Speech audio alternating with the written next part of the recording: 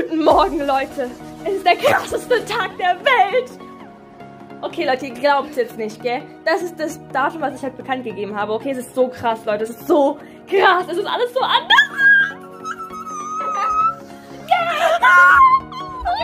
Okay. Ich habe der Lina auch Sachen geschenkt, aber ein bisschen verpeilt, weil da fehlen Zügel. Ich habe ein Gebiss vergessen zu machen. Das Material für das Halfter ist nicht angekommen. Ja, also die Lina kriegt noch ein paar Sachen nachträglich zugeschickt, ja? Danke. ja, und ich kann nicht einpacken, wie man sehen kann.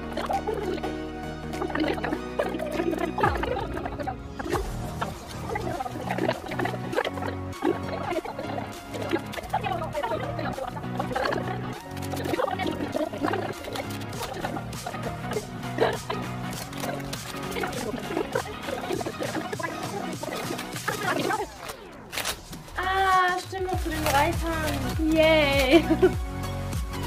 Alles wirklich geil, geil, geil. Ah, ja, sie hat noch Haare von mir geschenkt bekommen.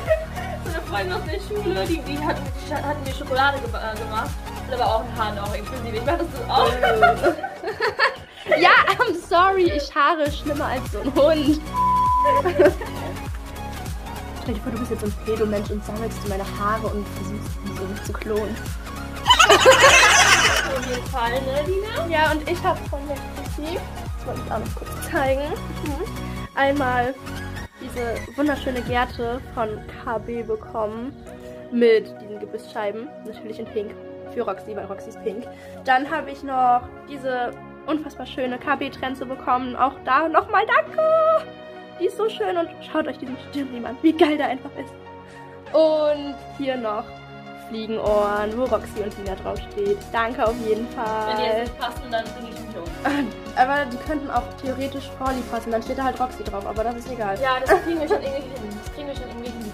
Das wird nicht passen, Ladies. Na, Not breche ich Roxy die Ohren.